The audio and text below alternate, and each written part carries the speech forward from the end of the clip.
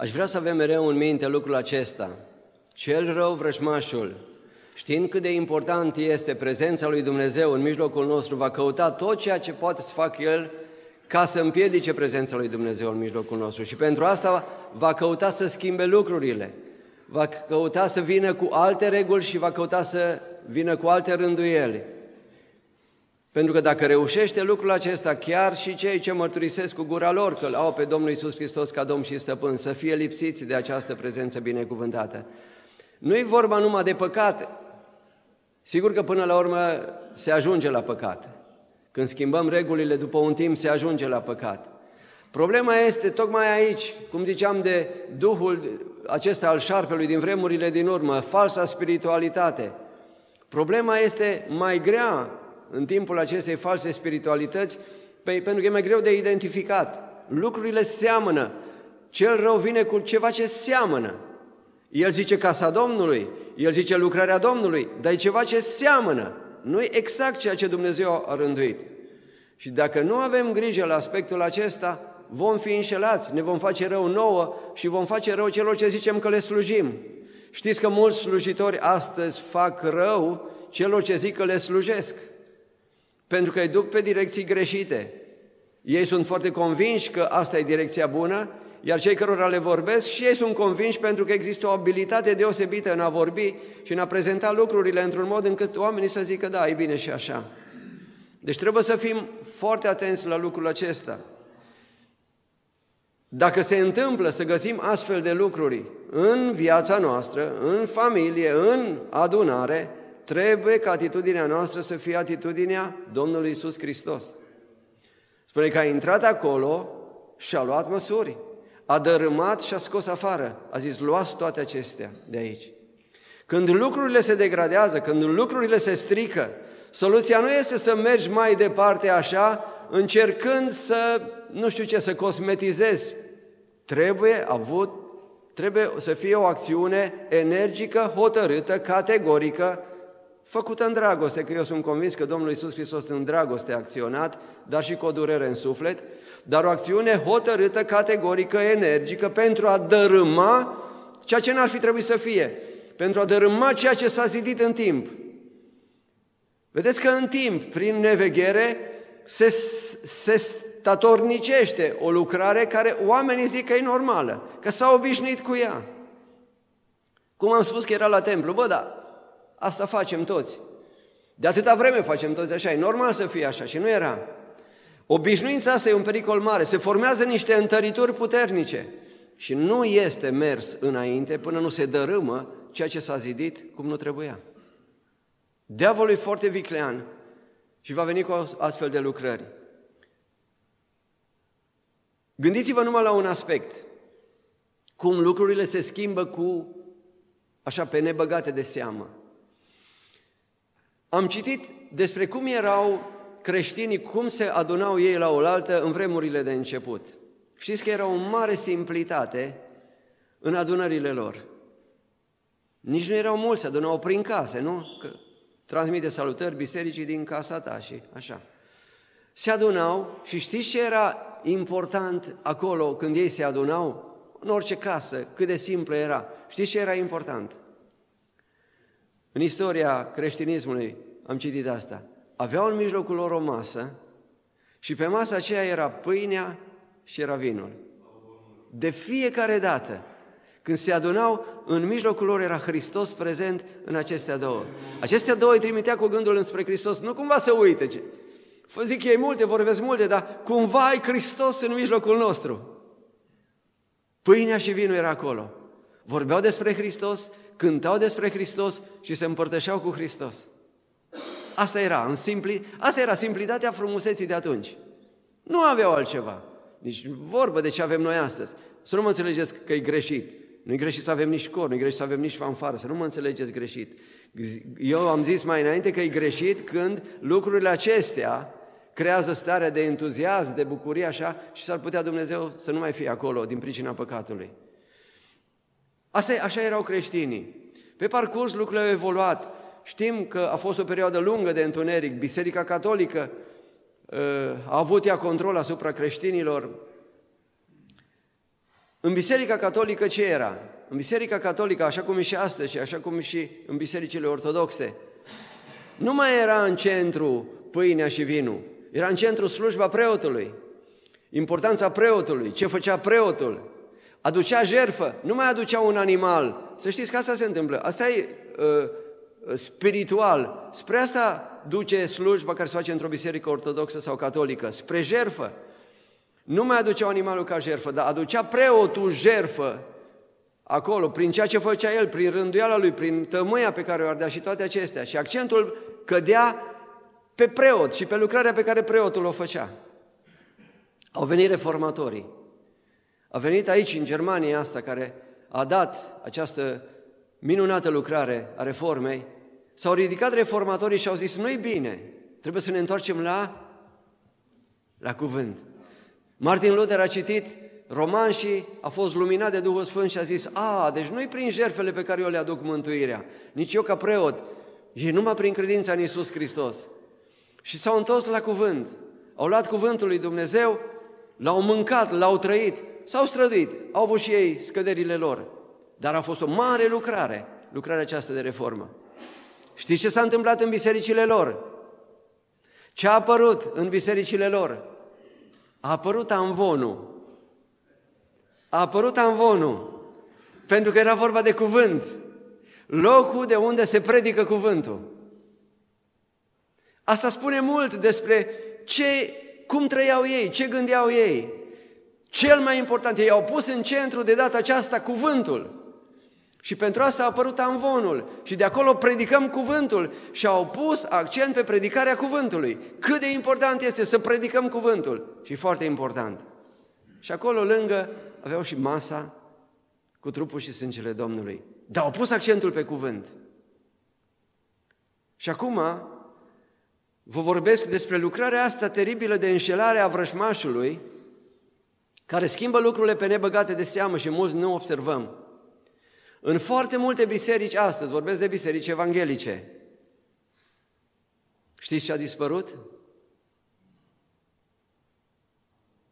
Amvonul. Și ce a apărut în loc? Scena.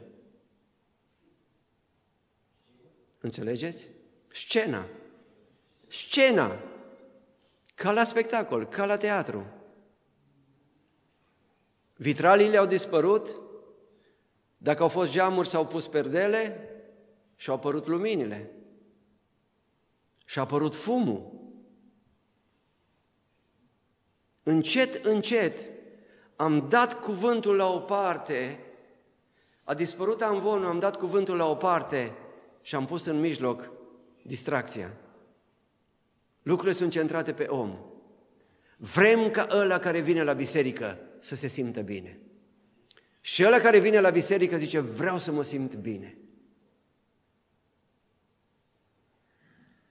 Predicile au ajuns în multe biserici în vest și probabil că și aici 10 minute, 15 minute și nu-s doar decât o zeamă lungă și searbădă care nu hrănește pe nimeni. Și în rest, distracție. În rest, distracție. Nici o reverență. Când era pâinea și vinul acolo, oamenii ziceau, suntem în prezența lui Hristos. E El aici. Îl reprezintă, e El aici, ne aducem aminte de El, reverență. A venit cuvântul, să nu vă înșelați, aveți grijă, vegheați asupra voastră. A venit cuvântul, reverență, ascultare de Dumnezeu. Acum, toate acestea au fost date ușor la o parte și în loc s-a pus altceva. Și știți ce e? Desperiat. Oamenii zic, dai bine și așa. Care e problema, frate? Nu despre Hristos vorbesc și ăia? Da, dar e altceva. E un alt Hristos. E o altă slujbă. E o altă rânduială.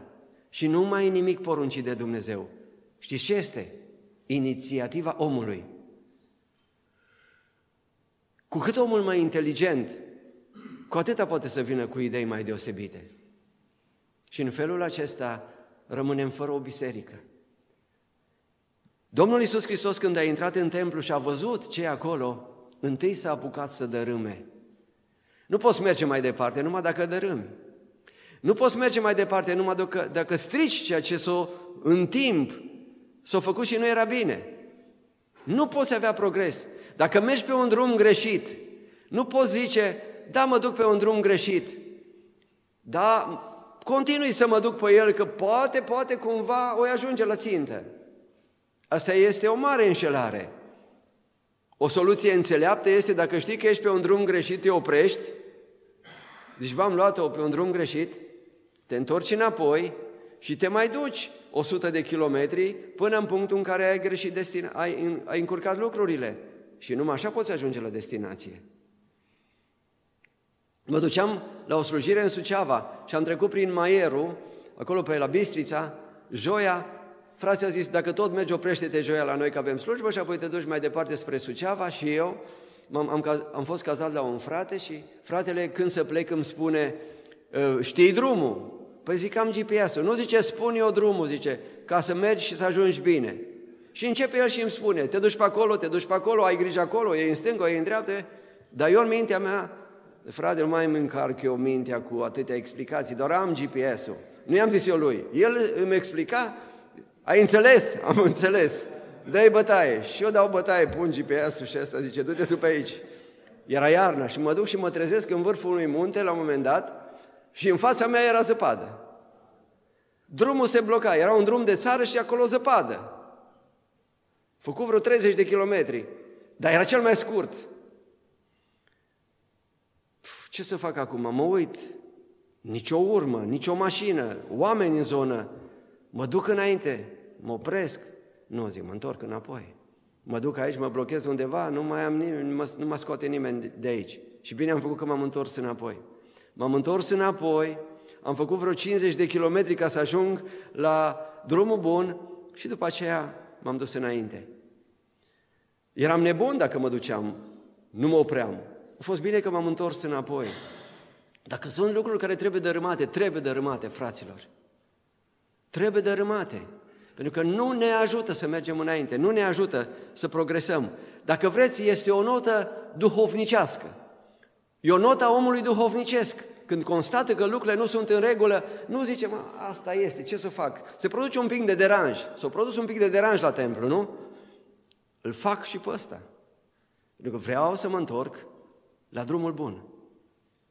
Deci nu poate fi, nu poate fi. Râvna pentru Dumnezeu îl duce pe om și la aceasta. Zice, râvna pentru casa ta mă mănâncă pe mine. Adică, știți, termenul mai adânc. Râvna pentru casa ta mă mistuie pe mine. Râvna pentru casa ta mă consumă, mă face să mă sting, să mă ard, să mă consum. Pentru că vreau să fie lucrurile așa cum Dumnezeu a hotărât să fie. E o notă a omului duhovnicesc.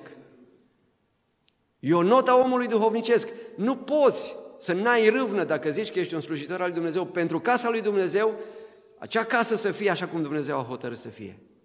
Avem această râvnă? Ne consumă pe noi aceasta? Ne doare când vedem că nu e în regulă? Trebuie să ne doară. E o notă a omului duhovnicesc. Aduceți-vă aminte de Neemia. Neemia, omul, omul pe care Dumnezeu l-a folosit în restaurarea Ierusalimului. Vă citesc în ultimul capitol, Neemia, capitolul 13. După ce a venit, a reconstruit, a rezidit, a așezat lucrurile, ai fi zis, în sfârșit, partea cea mai grea s-a terminat. Citiți acolo, zice, într-o mână țineam sabia și într-o mână țineam mistria, cu o mână lucram și în una țineam sabia. Eram gata oricând de lucru și eram gata oricând de luptă. Asta e imaginea creștinului. Înțelegeți? Gata oricând, cu o mână îți gata de luptă și cu o mână îți gata să lucrezi. Așa era. Și după ce au făcut lucrarea aceasta și au rezidit, acum era pe final. Și la capitolul 13 spune așa, de la 23, tot pe vremea aceea am văzut pe niște iudei care își luaseră neveste azdodiene, amonite și moabite. Jumătate din fiii lor vorbeau limba azdodiană și nu știau să vorbească limba evrească, nu cunoșteau decât limba cutărui sau cutărui popor. Uitați-vă la Neemia. I-am mustrat, un cuvânt mai greu, i-am blestemat, am lovit pe unii din ei, le-am smuls părul și am pus să jure în numele lui Dumnezeu zicând, să nu vă dați fetele după fiii lor și să nu luați fetele lor de neveste nici pentru fiii voștri, nici pentru voi. Oare nu în aceasta a păcătuit Solomon împăratul lui Israel? Nu era alt împărat ca el în mulțimea popoarelor. El era iubit de Dumnezeul lui și Dumnezeu îl pusese împărat peste tot Israelul. Totuși femeile străine l-au târât și pe el în păcat. Și acum trebuie să auzim despre voi că săvârșiți o nelegiuire atât de mare și că păcătuiți împotriva Dumnezeului nostru luând neveste străine. Era o situație acolo imposibil de acceptat. Dar vă, mă întorc și zic, tem, ă, Ierusalimul, zidurile erau deja rezidite. Ai fi zis, am rezolvat problema, totul e în regulă. Totul e în regulă, nu ne mai poate ataca dușmanul. Nemia s-a dus la problema spirituală de data aceasta. Și a zis, nu știți voi că Solomon a căzut pentru că n-a ascultat de Dumnezeu? Nu știți voi că în, în urma tuturor binecuvântărilor Solomon a uitat de poruncile lui Dumnezeu și a făcut cum a vrut el și din pricina aceasta am ajuns ceea ce am ajuns, împărăția s-a rupt în două. Și atitudinea lui Neemia,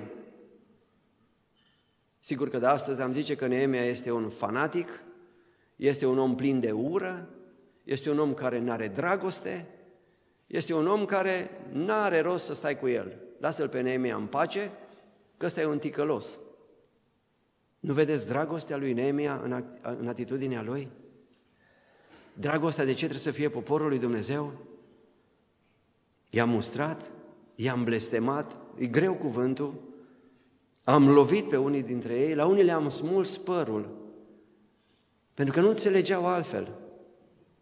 Nu puteau să priceapă. Ei mergeau înainte, poporul Domnului, dar era amestec acolo. Trebuie lucrurile puse în rânduială. Trebuie puse în rânduială dacă vrem să meargă mai departe și Dumnezeu să fie proslăvit și să fie glorificat. Haideți să vă citesc ce zice Apostolul Pavel. Sunt mai multe pasaje, o să vă aduc aminte de ele. Citesc mai întâi în 2 Corinteni 11, de la versetul 23 înainte. Sunt ei slujitori ai lui Hristos, vorbesc ca un ieșit din minți, eu sunt și mai mult. În ostenel și mai mult, în temnițe și mai mult, în lovituri fără număr, de multe ori în primejdii de moarte – de cinci ori am căpătat de la iudei 40 de lovituri fără una. De trei ori am fost bătut cu nuiele, odată am fost împroșcat cu pietre, de trei ori s-a sfărâmat corabia cu mine, o noapte și o zi am fost în adâncul mării.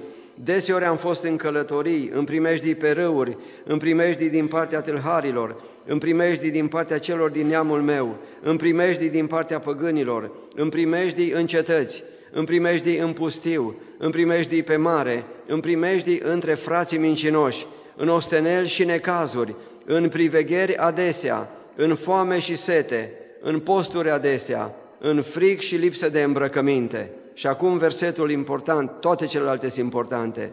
Și pe lângă lucrurile de afară, în fiecare zi mă apasă grija pentru toate bisericile.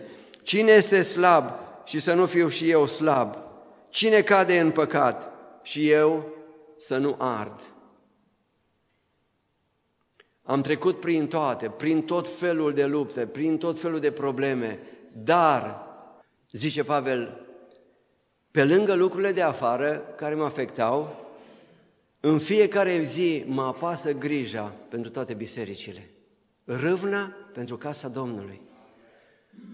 Și apoi cine slab și să nu fiu și eu slab, adică să fac orice ca să caut să-l pot ridica pe acest om care a căzut. Cine cade în păcat și eu să nu ard? Asta e râvnă. Din nefericire se instalează între noi așa o stare de nepăsare, de superficialitate. Eu m-am gândit de multe ori în dreptul meu, Doamne, am eu atitudinea aceasta? Am atitudinea aceasta? De multe ori zicem, i-am spus, i-am spus treaba lui, să facă ce vrea, nici nu mă mai interesează. Semnul, semnul, marca unui om duhovnicesc este că suferă pentru casa lui Dumnezeu, pentru că tot el spune, casa lui Dumnezeu suntem noi. Suntem mădulare unii altora, suntem părtași unii altora la aceeași chemare înaltă. Și trebuie să fie. Trebuie să fie o durere, trebuie să fie o suferință, trebuie să ne pese de ceilalți. Adică să facem tot ceea ce putem face. Să facem tot ceea ce putem face pentru salvarea lor, chiar a celor ce sunt împotriva noastră. Știți că acolo în, în Corin Pavel vorbește despre, despre oamenii care se, se împotriveau lui.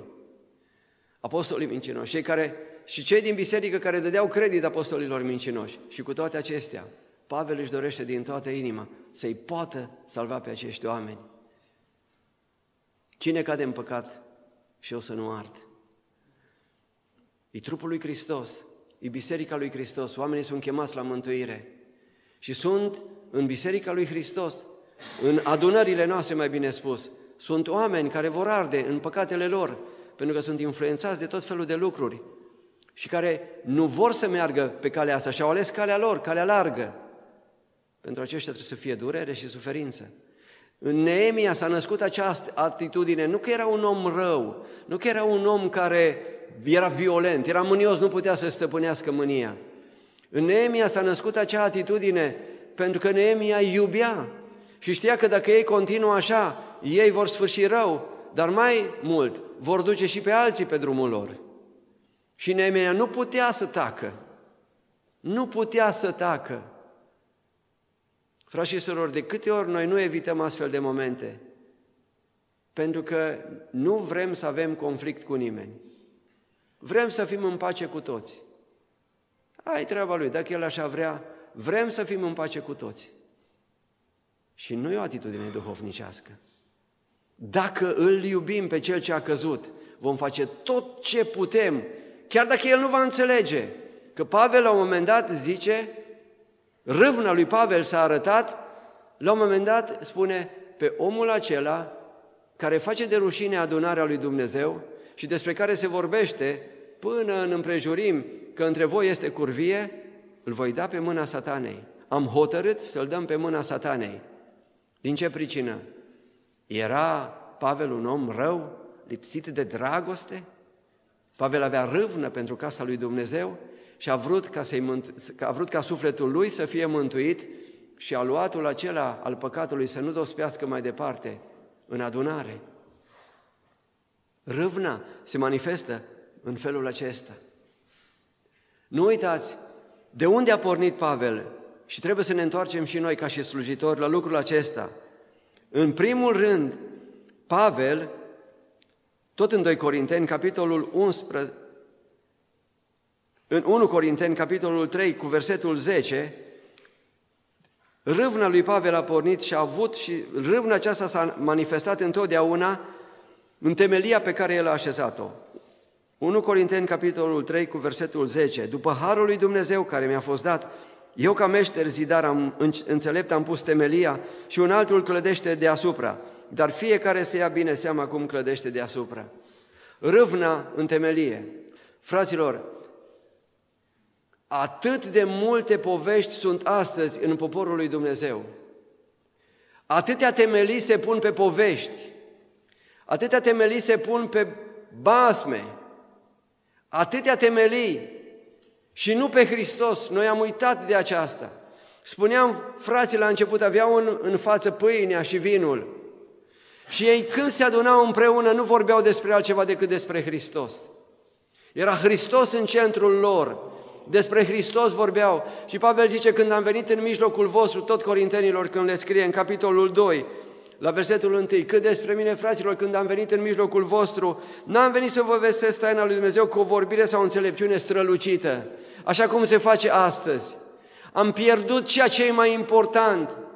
În loc să căutăm să vorbim despre Hristos într-o putere și inspirație a Duhului Sfânt, cel care cu adevărat îl poate înălța pe Hristos, ne-am renunțat la asta și am, apelăm la o vorbire despre Dumnezeu și la o înțelepciune strălucită prin care căutăm să-i punem pe oameni în uimire.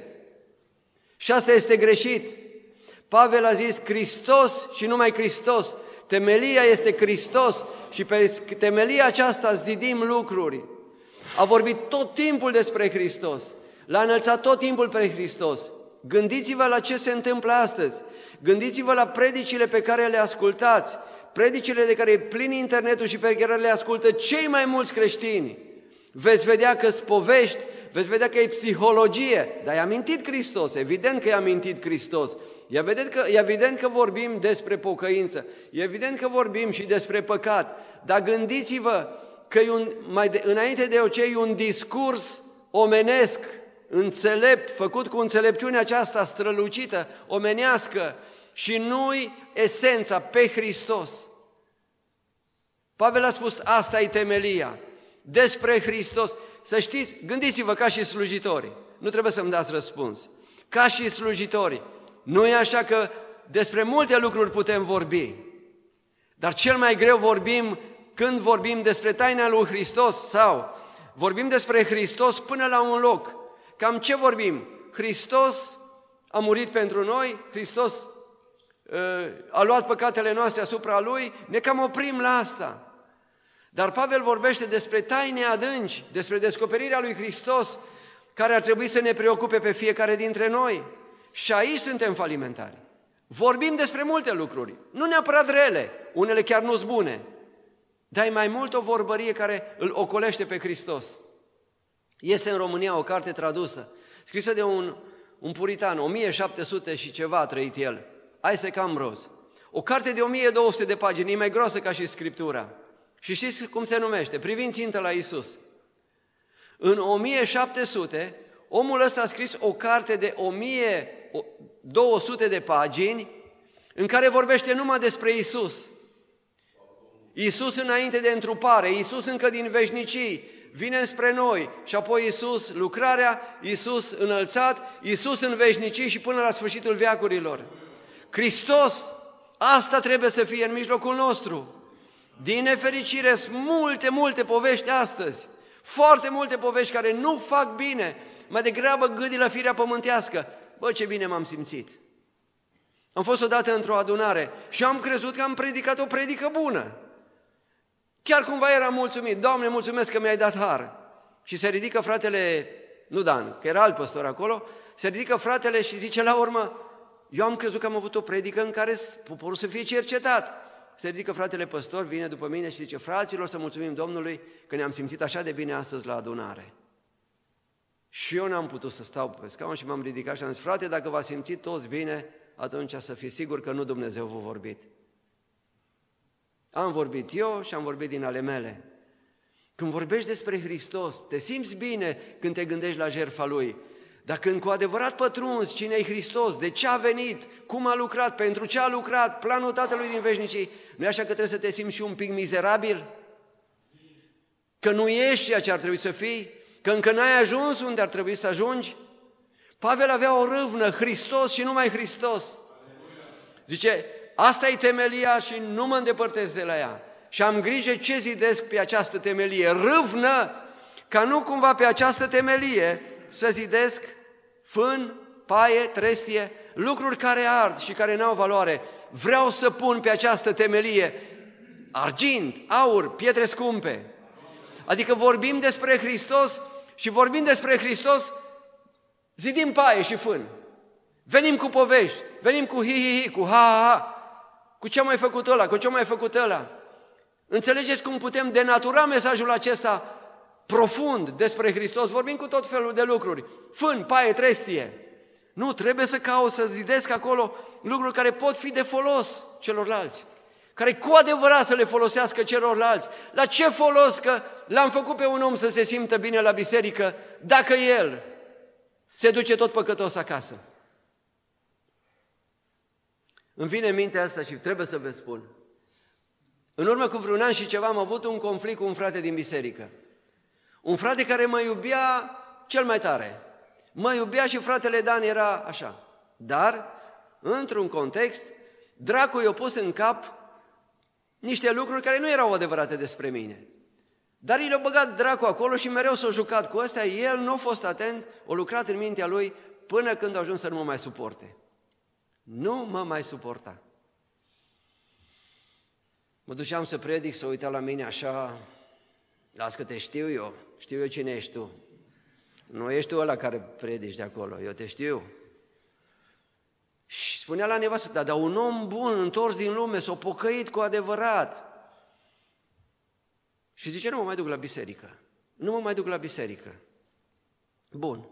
Nu mai vii, nu mai vii. Și pentru că cel viclean era pe fază, îl sună cineva, zice, nu vii să mergem la Beiuș, la biserică? Nu vă spun mai mult. Cine vrea să înțeleagă, să înțeleagă. Nu vrei să mergem la Beiuș, la biserică? Ba da, mă duc, că și așa la adunare la noi nu mă mai pot duce, că nu mai pot suporta pe fratele Dan. Și să duc el la Beiuș, la biserică. Și mă așez și eu acolo, cu ăștia care ne-am dus, și începe pastorul să predice. Și predică, și predică, și dă și dă și dă și dă Și așa de bine mă simțeam. Mă ungea la inimă. Mă duc acasă, îl întreabă nevastă asta, ai fost? Am fost. Și ți-a plăcut? Mi-a plăcut. Mi-a plăcut. A fost bine. Așa bine m-am simțit. Și zice nevastă sa, e bine când avem neveste înțelepte, ne rugăm pentru ele să dea Dumnezeu înțelepciune. Zice, băi, cum te-ai simțit bine? Zice, tu nu-l suporți pe fratele Dan. Nu poți să-l mai vezi pe fratele Dan. Ce nu a fost niciun cuvânt de mustrare pentru tine acolo. Că starea ta nu e bună, mă. Nu a fost niciun cuvânt de mustrare pentru tine acolo. Și atunci, zice el, parcă mi-a tras cineva două palme. Și am zis, chiar așa, că știa că e așa. Chiar așa tu, zice, ar fi trebuit să mă simt mizerabil. Știi ce? Eu acolo la ăla nu mă mai duc în veci. Eu în veci nu mă mai duc acolo. Că dacă era omul lui Dumnezeu, eu în știu starea, trebuia să mă prăbușesc la pământ și să mă pocăiesc, că starea mea nu e bună. Și Dumnezeu l-a ajutat și acum suntem iar cei mai buni prieteni și ne iubim. Înțelegeți? Înțelegeți? Poți zidi pe temelia asta Hristos, că despre Hristos a vorbit în ziua aceea acolo. Poți zidi pe temelia aceasta lucruri care să-i facă rău celui care vine, nu bine. Dacă vine un om cu starea aceasta în adunare și îl trimite acasă tot așa, nu sunt regulă. Călăuzirea Duhului Sfânt îmi lipsește. Ceva nu e în regulă.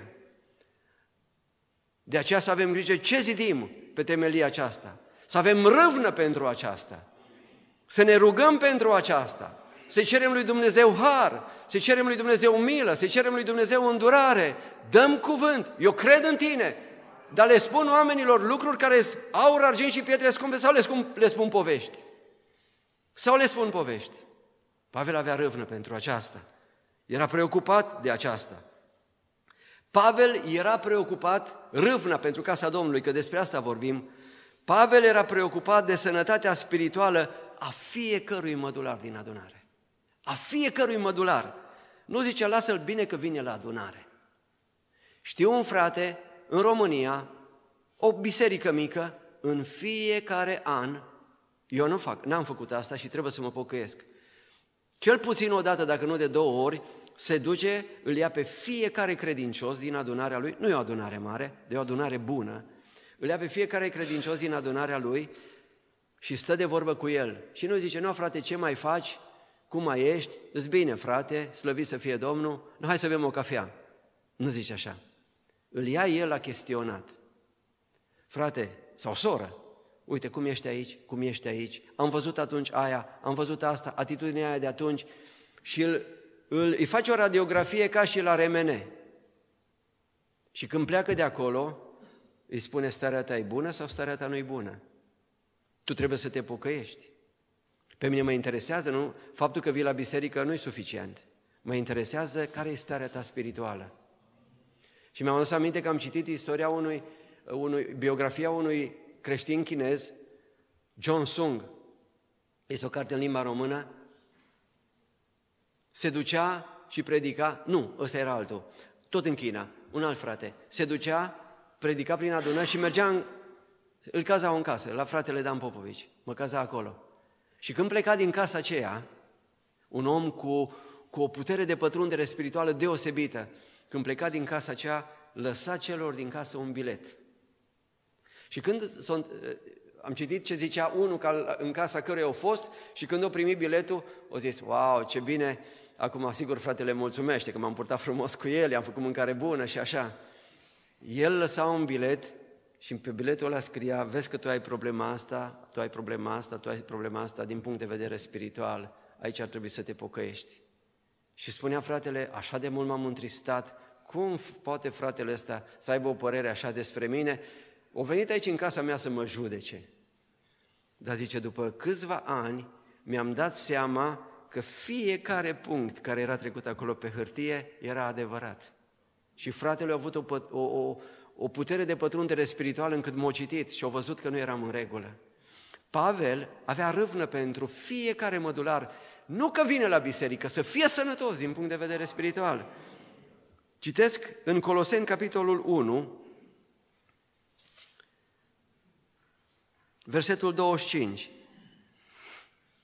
Slujitorul ei, a Evangheliei, am fost făcut eu.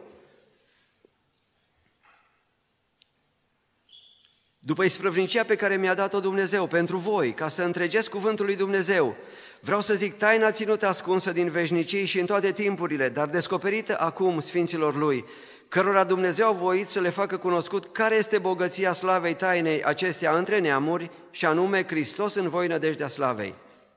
Pe El îl propovăduim noi și sfătuim pe orice om și învățăm pe orice om în toată înțelepciunea, ca să înfățișăm pe orice om desăvârșit în Hristos Isus. Și acum zice, iată la ce lucrez eu. Nu numai că lucrez, iată la ce lucrez și mă lupt după lucrarea puterii Lui care lucrează cu tărie în mine. Nu-i putem obliga pe oameni să se pocăiască. Nu-i putem obliga pe oameni să se dăruiască și să se dedice. Nu-i putem, că fiecare face ce vrea. Fiecare se ridică la înălțime, se ridică în, în, în, în statura uh, lui Hristos cât vrea. Că Dumnezeu hardă tuturor fără de măsură. Nu-i putem, dar trebuie să căutăm asta. Trebuie să fim preocupați de asta. Fiecare mădular zice, iată la ce lucrez și nu numai că lucrez, mă lupt. După lucrarea pe care Dumnezeu mi-a încredințat-o, să înfățișez pe orice om desăvârșit înaintea lui Hristos. Sunteți slujitori prin biserici. N-ați vrea să aveți tot să fie desăvârșiți? N-ați mai avea, n-am mai avea nicio problemă în bisericile noastre. Ar fi totul liniște, ar fi totul pace, ar fi totul frumos. Nu e așa. Și nu va fi așa, că vremurile sunt așa cum sunt. Oamenii nu vor, unii pur și simplu nu vor să meargă mai departe. Îți trebuie niciun buldozer nu-ți ajunge ca să-i urnești din betonarea în care au ajuns, spiritual vorbind. Dar datoria unui slujitor, râvna unui slujitor, asta trebuie să fie. Cum să-l ajut mai mult? Să meargă mai departe. Pavel avea această râvnă. Pavel această râvnă. Râvna pentru casa ta. Mă mistuie pe mine, zice Domnul Iisus. Și o găsim, râvna aceasta, și la Pavel. Apoi, la 1 Timotei, capitolul 3, vedem încă o dată râvna apostolului Pavel, 1 Timotei, capitolul 3, versetele 14 și 15, scria lui Timotei, îți scriu aceste lucruri cu nădejdea că voi veni în curând la tine, dar dacă voi zăbovi, să știi cum trebuie să te porți în casa lui Dumnezeu, care este biserica Dumnezeului celui viu, stâlpul și temelia adevărului. Timotei, nu te poți purta oricum. Este o râvnă pentru rânduiala sfântă din casa lui Dumnezeu. Și scriu cum trebuie să te porți. O rânduială sfântă. Nu te poți purta, înțelegem clar din contextul acestui verset. Nu te poți purta oricum în casa lui Dumnezeu. Îți scriu cum trebuie să te porți, Timotei. E casa lui Dumnezeu, e templul lui Dumnezeu, așa să te porți. Râvna pentru rânduiala sfântă. Știți, nu trebuie să faci nimic ca răul să se întâmple, așa -i? El vine, e de la sine, e lumea asta răului. Nu trebuie să arunci semințe de buruiană în grădină. Cresc acolo în fericire. Problema este că trebuie mereu să le smulgi dacă vrei să ai o grădină curată. Râvna se arată tocmai în a face mereu curățenie acolo unde răul vine natural și peste tot se înmulțește. Și mereu la curățenie. Dacă vreți, un slujitor este un om de ordine. Tot timpul vrea să facă ordine.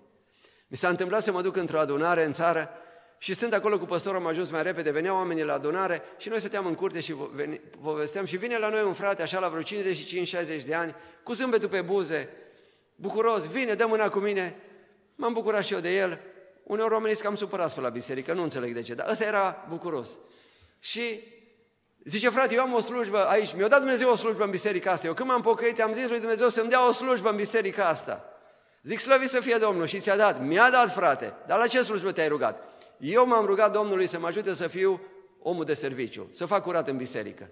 Și ce Dumnezeu mi-a dat slujba aceasta. Și atâta de bucuros, frate, și o fac cu atâta bucurie, zice, nu-ți dai seama. M-am bucurat din toată inima, am zis, uite, un om împlinit. Face curățenie în casa Domnului.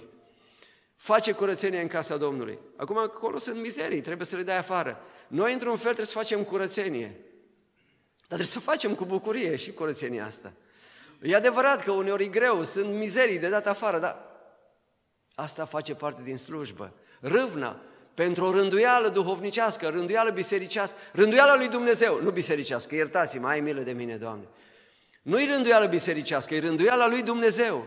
Râvnă pentru rânduiala lui Dumnezeu, că mulți au râvnă pentru rânduiala bisericii. Nu-i cel mai bine. Dacă e rânduiala după voia lui Dumnezeu, e bine, dar s-ar putea să nu fie. Pavel avea această râvnă. Apoi Pavel, mă grăbesc, Pavel avea o râvnă în legătură cu tot ceea ce ar putea să facă rău bisericii.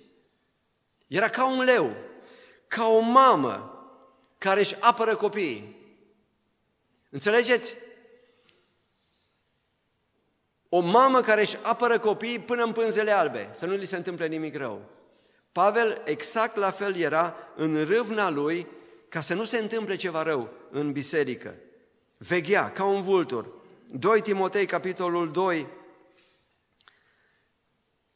de la versetul 15, tot așa scrie lui Timotei, caută să te înfățișezi înaintea lui Dumnezeu ca un om încercat, ca un lucrător care n-are de ce să-i fie rușine și care împarte drept cuvântul adevărului.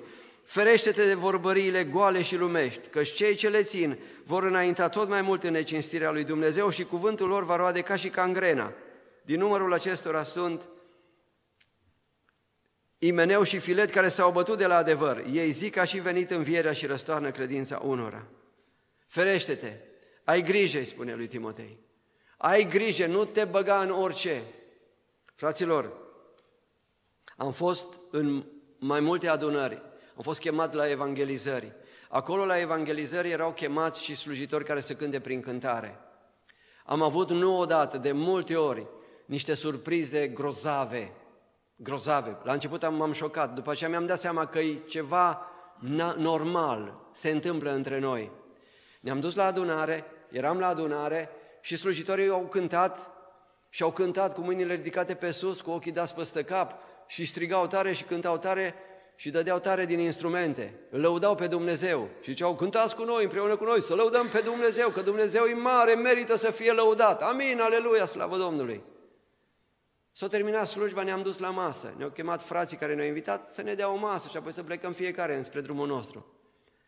Și cei care acolo la biserică, amin, aleluia, cântați cu noi că Dumnezeul nostru e mare și merită să fie slăvit.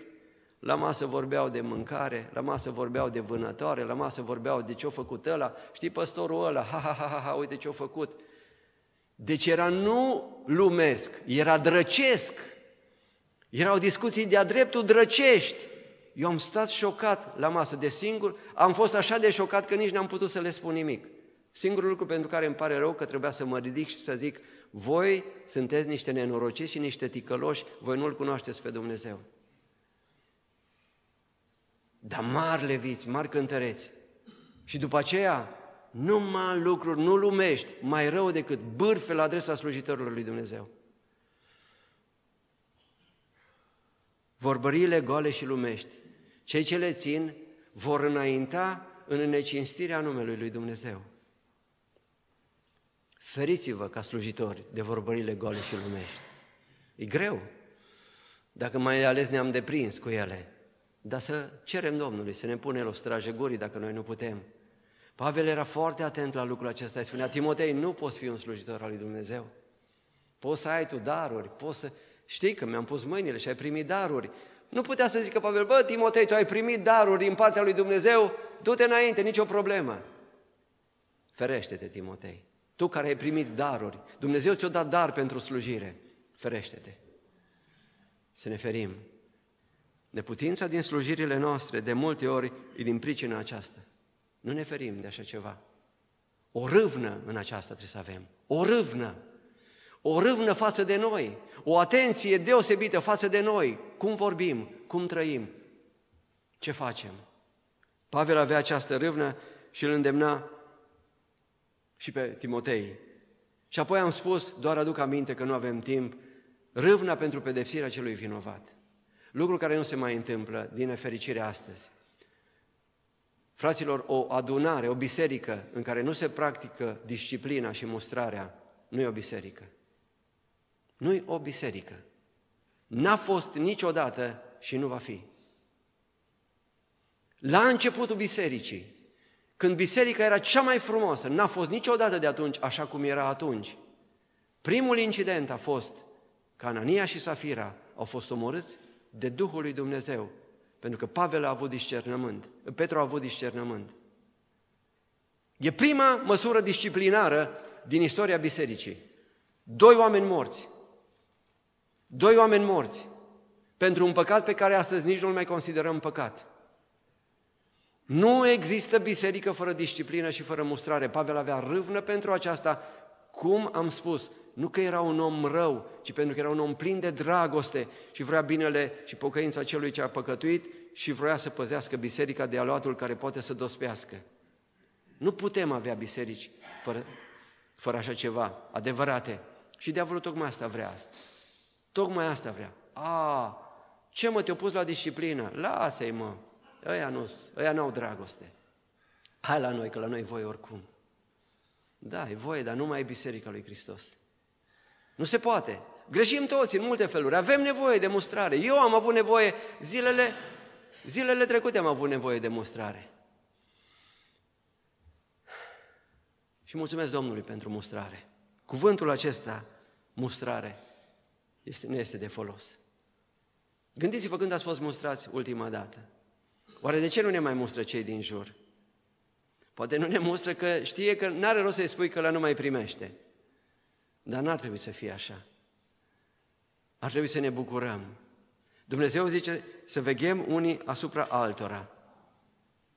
Și atunci e nevoie și de mustrare. Pavel avea râvnă pentru aceasta. Pavel avea o râvnă în ceea ce îl privește pe el personal. Știți felul în care trăia Pavel, felul în care își organiza el viața. Pavel se lupta aspru cu el. Pavel avea o râvnă pentru el. De aceea nici nu-l putem condamna. Bă, Pavel, l-ai dat tu pe ăla pe mâna satanei. Da, dar avea o râvnă pentru el. Era atent la viața lui în primul rând, cum trăiește, în cele mai mici detalii. Avea o râvnă în ascultarea lui Dumnezeu. Era dornic să asculte de Dumnezeu. În asta își găsea Pavel desfătarea. Veghea asupra lui. În primul rând veghea asupra lui. Și trebuie să avem râvnă aceasta. Cred că cel mai bun exercițiu este să mergem să ne punem pe genunchi în cămăruța noastră și să nu-i cerem Domnului nimic. Sigur, uneori și cerem, ci să ne punem acolo pe genunchi și să zicem, Doamne, arată-mi Tu care e starea mea. De câte ori v-ați rugat așa, pe genunchi în intimitate, Doamne, arată-mi la modul cel mai serios care e starea mea. Nu-ți cer să-mi dai nici asta, arată-mi numai. Trimite o lumină în, în, în inima mea, în cugetul meu și arată-mi care e starea mea. Arată-mi-o, Doamne. Stau aici până când îmi vorbești. Ăsta poate fi un timp cu cel mai mare folos spiritual.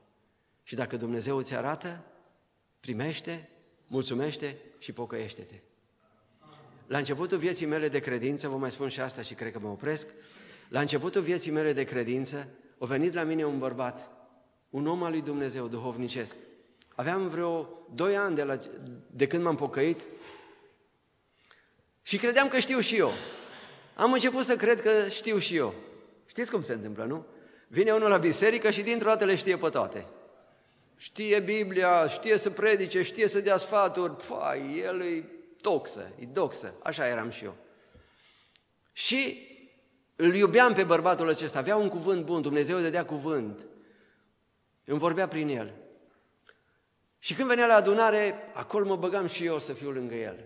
Îmi plăcea să fiu acolo. Să termina adunarea, se făcea o masă undeva și eu țup lângă el. Și mai vorbeam și eu, mai îmi deschideam gura și eu. Dădeam cu părerea. Și se uită la mine așa, dar nu eram noi doi, erau mai mulți. Zice, tu să taci din gură, că ești un nepriceput și un neisprăvit. Nu ești în stare de nimic. Am crezut că nu e adevărat. O fi vreun banc, vreo glumă, dar vorbea foarte serios. Aoleu, mă duc eu acasă supărat, vă dați seama, nu? Mă pun pe genunchi, cum pot să zic așa ceva despre mine? Că-s nepricepune, isprăvești și nu sunt stare de nimic. Doamne, și mă jeleam eu în fața lui Dumnezeu, cum o pot el să zică? Și în timp ce mă jeleam eu acolo, Dumnezeu zice, da dacă are dreptate. Hopa, la asta nu m-am gândit. Dacă are dreptate. Stau, mă mai rog și liniștindu-mă, zic, Doamne, are dreptate, chiar sunt nepriceput. Ai miră de mine, Doamne. Bun, s-a terminat, el nu era de la noi, o pleca, mai venit peste o vreme, iar, predică, eu iar pe acolo, pe lângă el. Mă bag și eu în seamă. Și am uitat lecția. Și zic și eu ceva. Nu ți-am spus că tu, nu ești, că tu ești un neisprăvit și nu te pricep la nimic? Mai bine ai tăcea din gură. Mă duc chiar acasă, foc și pară, supărat la maxim. Doamne, cum poate să zic așa ceva? Aceeași poveste. Duhul zice, dar nu cumva are dreptate. Ba, are dreptate. Bun, m-am pocăit. Mi-a făcut de trei ori lucrul ăsta. Vreau să vă spun, fraților, a fost cel mai bun tratament de care am putut avea parte la începutul vieții mele de credință. Nu puteam avea unul mai bun. Mereu după aceea mi-aduceam aminte când îmi deschideam gura. Oare zic bine? Oare chiar zic bine sau vorbesc din ale mele? E așa de bună mustrarea, fraților, când mai ales o face un om duhovnicesc și o face în dragoste, nu cu, cu gând rău și cu viclenii. Să ne învățăm să primim mustrarea, să ne rugăm Domnului să ne mustre El atunci când trebuie să ne mustre. Ca și cum noi suntem uneori, ca și cum am fi perfecți și desăvârșiți. Noi nu mai avem nevoie. Avem nevoie. Și v-am spus că recent Dumnezeu mi-a mustrat, m-a mustrat și îi mulțumesc pentru harul acesta. Vreau doar să vă citesc acum în final, înainte să mi-am notat aici, să avem grijă motivul pentru care slujim. De ce slujim? Pentru că iar aici ne putem încurca rău de tot, aseară am vorbit despre aceasta pentru cei care au fost la adunare. Care e motivul pentru care slujim? Înainte de orice, trebuie să avem mereu în minte lucrul acesta. Slujirea noastră trebuie să fie pentru slava și gloria lui Dumnezeu și pentru mântuirea oamenilor. Toți zicem amin, dar foarte mulți nu facem așa. Un om care slujește îi expus pericolului să-și atragă slava de partea lui. Oricare, eu sunt primul și apoi fiecare dintre noi. Cu cât ești mai într-o slujire publică, cu atât ești mai expus să atragi de partea ta. Privirea celorlalți, aprecierea celorlalți, foloase materiale dacă se poate. Ori asta este o mare nenorocire. În felul acesta, nu numai că nu sunt de folos congregației, îi fac rău și îmi fac rău și mie. Aveți grijă la motivația cu care slujiți. Cercetați-vă mereu, după fiecare predică și înainte de fiecare predică. De ce slujesc? De ce cânt? De ce predic? Care e motivația? Și dacă nu-i Dumnezeu și slava Lui, și dacă nu-i binele oamenilor, mai bine nu o fac. Am citit într-o carte despre un om al lui Dumnezeu prin 1800 și ceva, când intra în biserică, biserica începea să tremure. Așa era o prezența lui Dumnezeu în el. Nu trebuia să vorbească. Când intra în biserică, oamenii erau cuprinși de un freamăt. Și spune el într-un jurnal al lui, m-am dus astăzi să predic fraților și am descoperit în atitudinea mea că nu predicam pentru slava și gloria lui Dumnezeu, ci mă gândeam la mine și m-am oprit din predicare, zice. M-am oprit din predicare și m-am așezat jos, că mi-am dat seama că nu era Dumnezeu și nu erau oamenii. Nu vă luați după modelul lumii. Toată lumea vrea asta să fie apreciat, să-i dai like-uri, să-l bați pe umăr, să aibă biserică mare. Să avem mare grijă la aspectul acesta. Nu putem fi slujitori adevărați până când aceste două lucruri nu sunt prioritare în viața noastră. Un om al lui Dumnezeu a avut un vis într-o noapte. Dumnezeu a vorbit în visul acela. Avea o lucrare bună. Biserica era bună. Lucrurile mergeau bine în biserică. Slujea. Și Dumnezeu i-a dat un vis. E adevărat. Deci nu vă spun din povești. E un caz adevărat. Și Dumnezeu a arătat lucrarea lui ca și un bolovan mare de 100 de kilograme. Asta era lucrarea lui. Și el când s-a uitat a zis, wow, uite ceva, un bolovan mare de 100 de kilograme, am făcut ceva, am făcut ceva. Și zice, la un moment dat a început, a venit un om și și-a dat seama după aia că era Domnul Isus și ca un chimist, alchimist din asta, a început să toarne pe piatra aceea tot felul de substanțe ca să se descompună, să vadă din ce e compusă piatra aceea. Lucrarea lui de 100 de kilograme pentru Dumnezeu. Și a venit și a făcut slujba și la urmă i-a, dat, a apărut un buletin de analize. Și i-a dat și lui o copie după buletinul de analize. Lucrarea lui de o viață care avea 100 de kilograme, de care el era foarte mândru.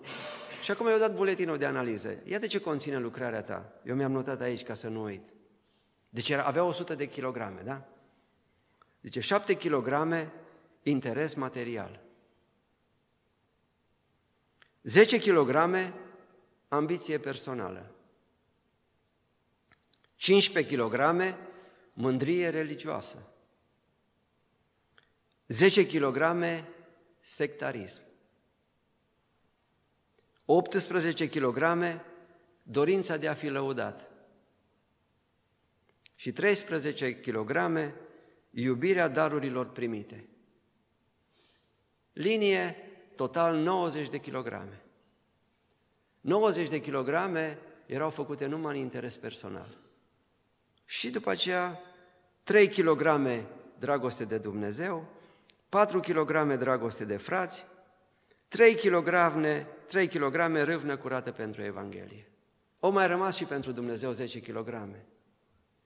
Și spunea fratele, m-am trezit, transpirat, hainele erau ude pe mine, mi-am dat seama că toată viața mea și lucrarea pe care am făcut-o înaintea lui Dumnezeu nu avea niciun preț și eram vinovat înaintea lui Dumnezeu.